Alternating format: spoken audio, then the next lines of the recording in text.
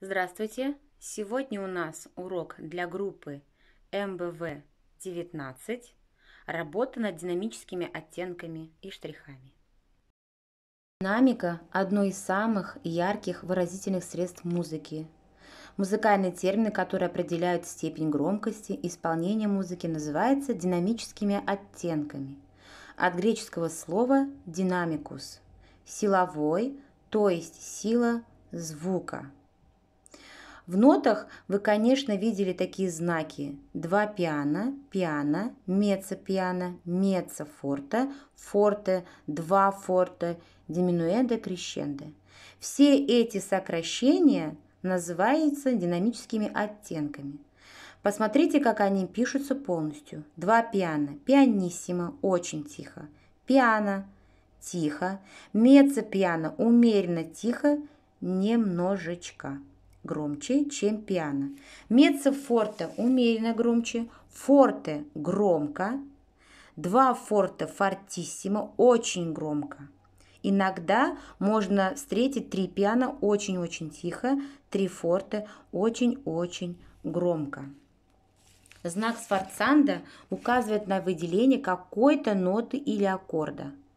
Очень часто встречаются в нотах такие слова диминуэнда или значок, указывающий на постепенное ослабление звука. Крещендо или тоже значок указывает напротив, что нужно постепенно усиливать звук.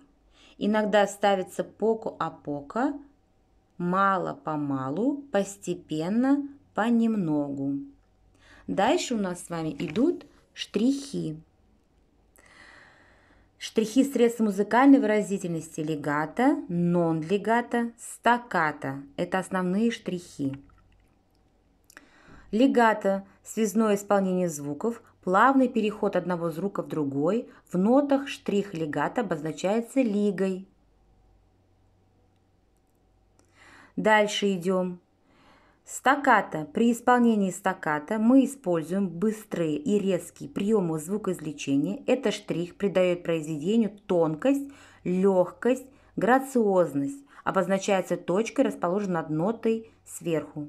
Нон-легато. При игре этим штрихом, чтобы не было ни плавного, ни отрывистого звучания. Примечается часто в предвижном темпе при взволнованном характере музыки. Э, сегодня у нас идет работа над динамикой штрихами. Мы посмотрим с вами, что у нас встречается в произведении диминуэнда крещендо, пиано, меццофорте, форте, два пиано. А также у нас есть здесь лига, встречается нота с точкой. Все нюансы мы должны сегодня проиграть и показать. Домашнее задание ваше будет проиграть произведение со всеми динамическими оттенками и штрихами. Послушаем, как это будет звучать.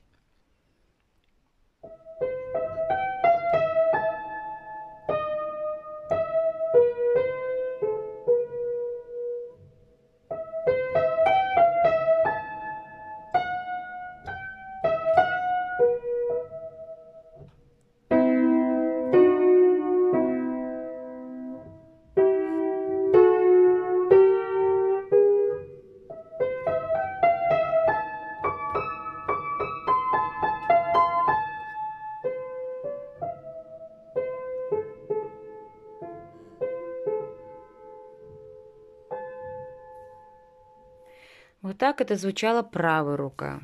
Давайте проиграем левую руку.